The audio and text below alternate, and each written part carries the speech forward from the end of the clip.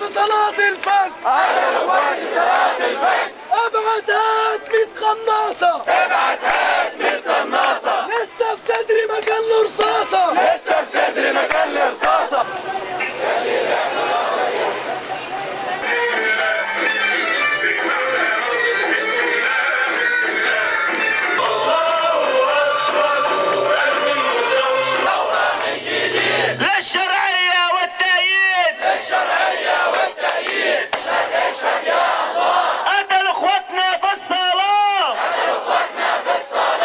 ومنهم الذين يريدون السلطة ولو على جثث الشباب ير أبدا إلى العنف.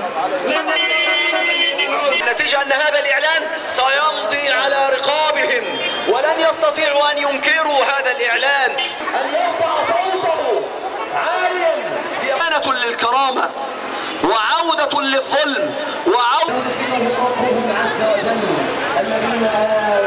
كونوا مع الأمن الذي ينجو به الناس يوم القيامة.